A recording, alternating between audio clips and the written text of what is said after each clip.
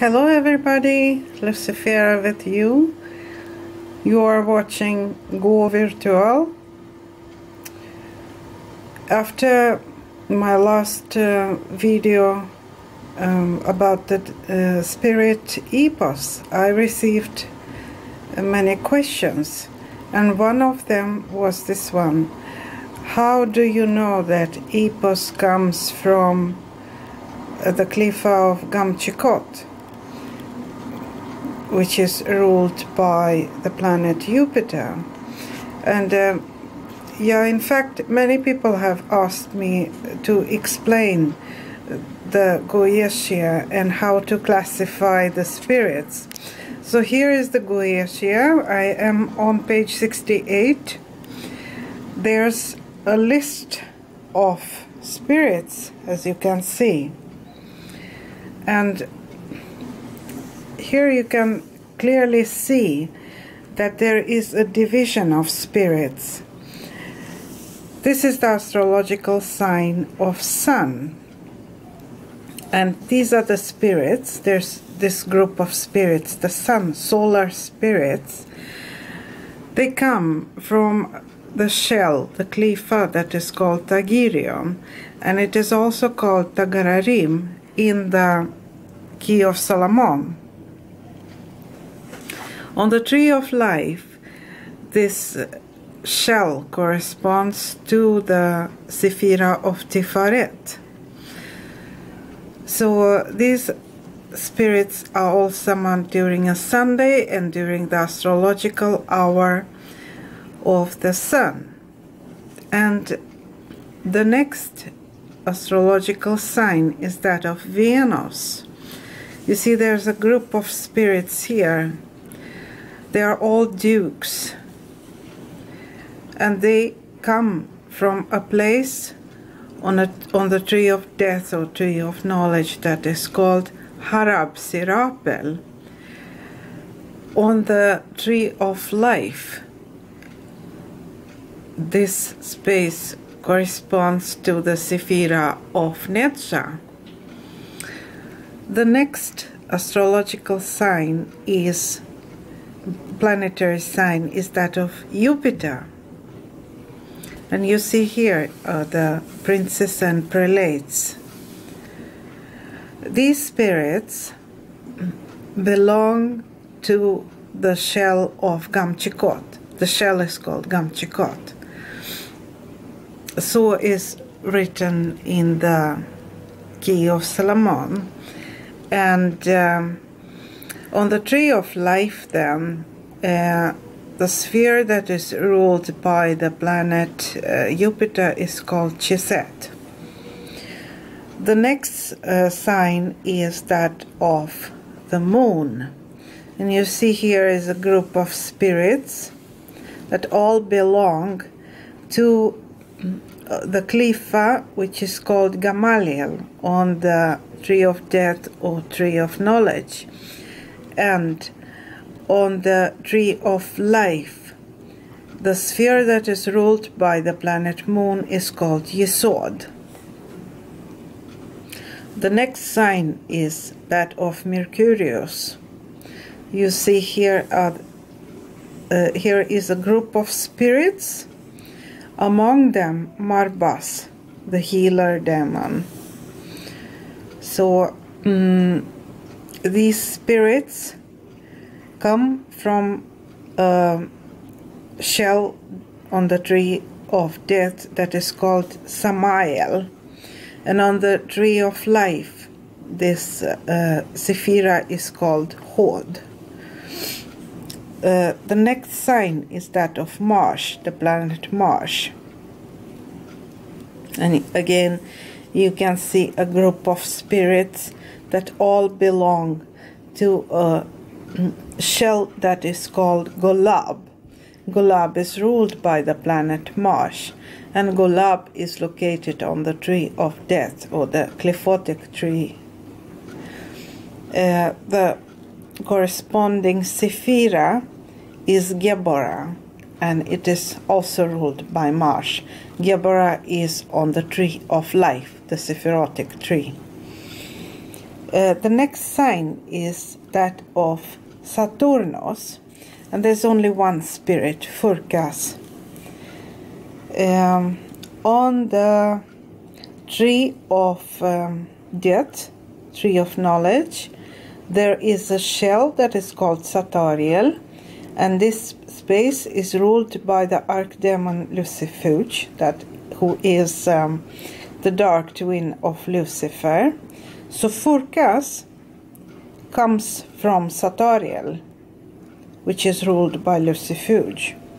On the tree of life, the Sephirotic tree of life, the sphere that is ruled by the planet Saturnus is called Binah.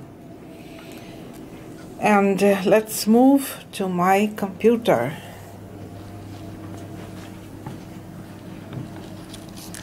Um, if I can focus. No, I can't. I can't. Here is the tree of life. This is the glyph. And um, the spheres are called Sephiroth. Each sphere has a matching color. And uh, from they are numbered from top to bottom the first two are not important when we work with Goetia, but the third one, uh, which is black and gray, there in the upper left corner, is called Binah, and uh, this Sephira is ruled by Saturnus. And the corresponding um, shell on the tree of death is then we must scroll down I think. Wait. If I can get it. Uh, here. We are here. You see if you imagine that this tree of death stands right behind the tree of life uh, your understanding of Kabbalah will become very easy. You see, there is a sphere in the upper left corner. It is called Satariel, and Lucifuge rules this space. So, that spirit we were talking about, Furcas from Goetia, he comes from this sphere, Satariel, which is ruled by uh, the planet Saturnus. And uh, the sphere of marsh on this tree of death is called Golab. It is right beneath the shell, which is called Satariel. And Asmodeus rules this place. So um, I had mentioned in my previous videos that um, most of the spirits from which are mentioned in Grimoirium Verum, come from the shell that is called Golab. So Golab is located right beneath Satariel, and uh, Clauneck comes from there. He is red. I I summon him during Tuesdays, so you have to uh, make an easy model for yourself to understand. Uh, do not uh, imagine that the tree of death is a, a mirror image that is hanging upside down. Uh, a mirror image of the tree of life because this will become very difficult and confusing. Place the tree of death right behind the tree of life, and you will align these um, Qliphah to Sephira, and uh, your understanding will become very easy. And also, I think that this. Um, this chapter in the Key of Solomon on page 121 in this in this version of the Key of Solomon is very good because because it explains uh, the Qliphoth and the ruler, rulers of the Qliphoth and the uh, Sephiroth and the rulers of the Sephiroth. So if you then draw two trees, one tree is the tree of um, death and the other is the tree of life, and you color it and uh, place out the astrological symbols and write down some information like the color and the gems and um, the number and so on, the metal, everything will become clear to you. It comes with practice when you start summoning spirits from the Goetia and also some um, archangels for regular workings and so on. So this will become very crystal clear. This was it. I think that I have answered the question how do you know uh, about Ipos?